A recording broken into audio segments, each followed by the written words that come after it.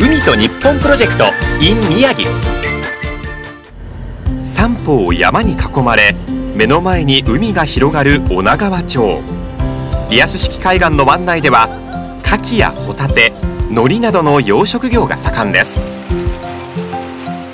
女川町で養殖されているものの一つが銀鮭。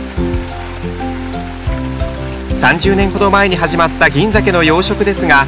銀王という名前でブランド化されていて今年6月には ASC 認証を取得することに成功しました。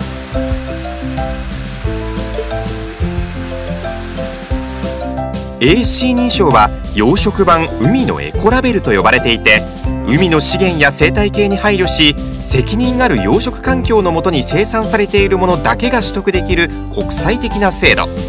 銀号は日本で初めて ASC 認証を取得した養殖銀鮭です。これを取得するために取り組んだのが餌の管理。餌に含まれる材料は誰がどこで生産しているのか分かるもののみを使ってるんだそうです。まあ、養殖業の場合だと魚の味っていうのはほとんどがもう餌がどんな餌を使ってるかによって味というのが決まってくるので、まあ、そこにやっぱりこだわりを持っていかないと美味しい魚が作れないので、まあ、その養殖の段階から、えー、と加工出荷最終的な製品になるまで自社で管理しているので、えー、と安心して召し上がれるということで、えー、と刺身用として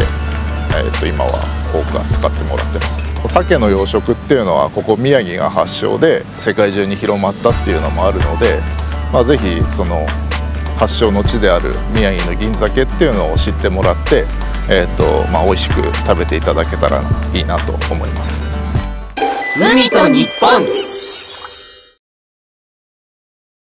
ご視聴ありがとうございました。ぜひチャンネル登録してくださいね